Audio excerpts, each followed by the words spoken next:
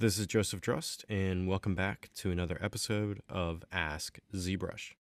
So we had a question sent in asking, how can I make a curved wind deflector using the ZModeler brush as seen in the Modeling a Truck with Pixolator video? So this question is referring to this video here that we have posted on YouTube, and it's called Modeling a Truck with Pixolator in ZBrush 4R7. Now around the 320 mark through here, Pixolator comes through and he's going to model a wind deflector on the truck here. So the question is asking how did he do this and what features did he use using the ZModeler brush? So if I go back to ZBrush here, you can see I just have a start of a cab shape here modeled with the ZModeler brush. And we're going to go through now and we're going to create a quick wind deflector using the same process as Pixolator was using. So the first thing I want to make sure I have the ZModeler brush selected. So I'm going to hit B on my keyboard, isolate by letter Z, and then click M.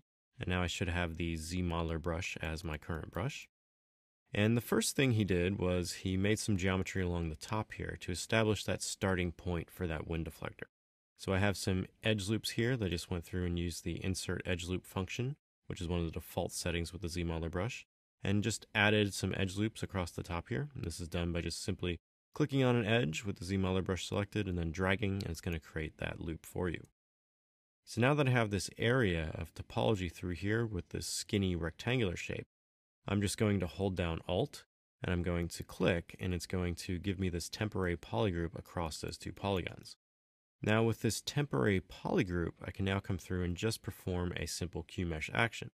So if you perform this action by default, you're just going to click and drag and it's going to give you this QMesh property which is this advanced extrude function inside the ZModeler tool. Now the QMesh action has some alternate functionality.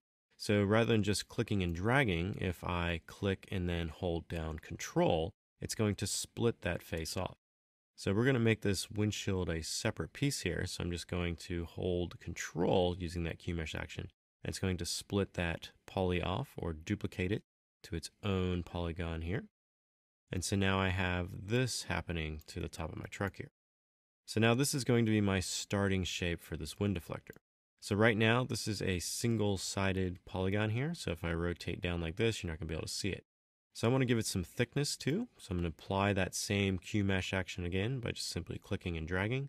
And it's going to now give that polygon thickness and also make it watertight at the same time. So that single-sided face now has been extruded out with that QMesh action and all the holes have been filled in. So now at this stage, Pixolator comes through and he starts giving this a curved shape. Well, if I just start dragging this out with the QMesh action, you're going to notice it's not going to give me that curved shape. So he is using another function of the ZModeler brush through here to get a angle generated that's going to allow him to extrude back and get that curved surface. So if you hover over an edge here and then press spacebar, we go into the ZModeler Edge Action menu, and we're going to locate the extrude action here. And then with this extrude action, we're going to make sure we have the target of edge selected, and then we're going to just keep it as a modifier of straight. So what this edge action is going to allow you to do, it's going to allow you to come through and click on an edge and drag, and it's going to generate this triangular extrude like so. So this is the process in which Pixolator was using to start generating that curve on the wind deflector here. Now this extrude edge, if I zoom in here, you'll notice when you hover over this edge, you're going to get a highlight. So let me just make my brush size a little smaller here. So if I hover over this edge and I'm closer to the top face here, you're going to see this edge is going to highlight. And if I'm hovering over the edge and closer to this face here, you're going to see this edge is going to highlight. Now this direction of where this highlighted edge is, when you're hovering over the edge here, it's going to correspond to which way this edge is going to extrude. So if I have this one highlighted when I'm hovering over the edge, it's going to give me this kind of extrude. But then if I have this one highlighted when I'm hovering over an edge, it's going to give me this extrude. So that is how you can change your direction of how this edge is going to be extruded out when you perform this extrude edge action.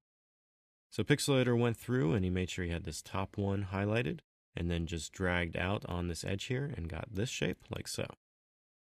So that is the second part there for this function. Now, since that process was done with that edge action inside the ZModeler brush, my poly action is still the same QMesh one. So now I come back through and use QMesh to pull that out. hover over this edge again, generate another taper like so, pull it out, hover over the edge again, generate another taper, and then pull it out as well. So now you can see I've generated that curved wind deflector really quick just using those two actions in the ZModeler brush. Now after he had this established, he went through and inserted some edge loops through here using the insert multi-edge loops. So we're going to hover over an edge again, press spacebar to go to the ZModeler brush. I'm going to select the insert action, and then I'm going to change my target to multiple edge loops. And this is going to allow me to come through and now generate multiple edge loops if I want to cross the surface here. So I just want to make sure I have this many edge loops established like this. So I just had it insert one edge loop through there. Now he's also gone through at this stage and he deforms it some to kind of give it more of a curved surface in the center. So I'm going to use the QMesh action again along with that temporary polygroup. So I'm going to hold down Alt and I'm just going to tag all these faces through here. And then now I'm going to use the QMesh action and instead of just dragging it out like normal or holding control to detach the face, I'm going to press shift. So I'm going to start dragging it out and then I'm going to hold shift and this is going to perform a move action along those faces there. So you can see now I have this soft angle throughout that edge there. Now I come through and say insert another set of edge loops and then tag these guys and do that same process. So QMesh and then hold shift and you're going to start getting that rounded surface throughout that area there.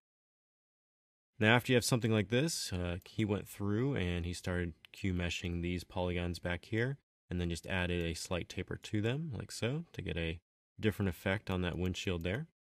You can also come through and insert multi-edge loops around this area here to kind of round this out as well. So if I come across this edge here, and then I'm going to hold spacebar to go back into the ZModeler Edge action menu. I still have that insert option selected. I have multiple edge loops as the target.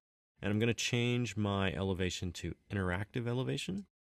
So now when I come across this and apply it, you're going to see it's going to insert edge loops there. And it's also going to give me elevation, which is going to allow me to soften that edge up too. So now you can see I have a nice soft rounded edge all around that windshield. So that is the process in which Pixolator was using to model that windshield in the modeling a truck with Pixolator in ZBrush 4R7. So if you have any other questions related to ZBrush pipelines or processes, please use the hashtag AskZBrush on Twitter. Happy ZBrushing.